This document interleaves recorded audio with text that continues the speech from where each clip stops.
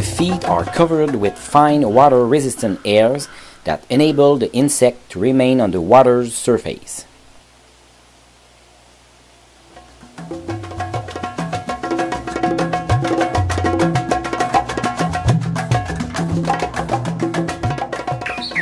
This bird have the largest song repertoire of any North American bird.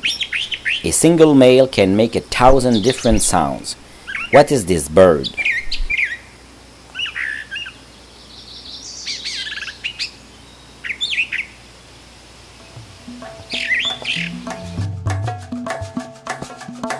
The answer will be released next week.